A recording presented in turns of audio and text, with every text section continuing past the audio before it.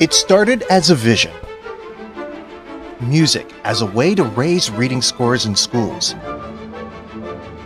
And now it's a reality, thanks to your generous support of the California Symphony's Sound Minds program.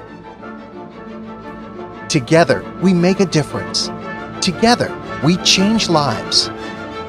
This is Sound Minds in action.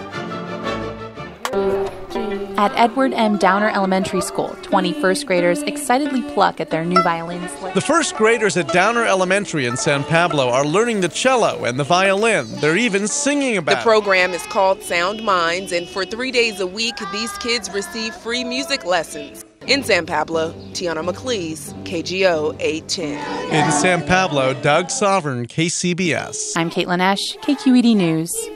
After weeks of practicing on cardboard violins, some East Bay school children traded up today. Courtesy of Sound Minds, it's a music education program funded by the California Symphony. We are offering this program to every first grader. Our vision is to have an instrument in the hands of every first grader in the Bay Area. Studies show music improves academic achievement, especially when combined with tutoring, which the program will also offer.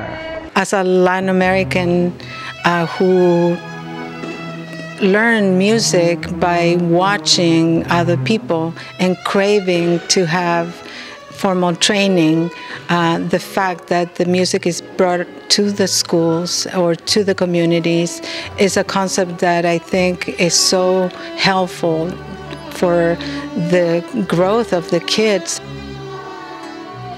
The first two weeks, I saw the kids learning the parts of the instruments, violins and, and violoncellos, and also learning singing and movement the right, left, right, left is very important for first graders. Today, after five weeks, they're singing at least eight or ten songs by memory. They started the program with paper instruments and now they're holding their real violins.